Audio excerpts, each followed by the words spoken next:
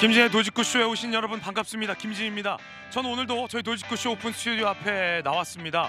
어, 여성 정치인 수행 비서에게 성희롱성 발언을 한 것으로 물의를 빚고 있는 현근택 부원장의 징계 수위를 이재명 대표와 아, 이 정성호 의원이 논의한 것을 두고 당 안팎에서 논란이 거셉니다. 이 가이드라인이냐 봐주기냐 이런 논란이 거센 겁니다. 잠시 후에 그 후 폭풍 전해드리겠습니다. 저는 비가 오나 눈이 오나 매일 아침 이곳에서 여러분을 기다리겠습니다. 김지의 돌직구 쇼 지금 라이브로 시작합니다. 잠깐만요.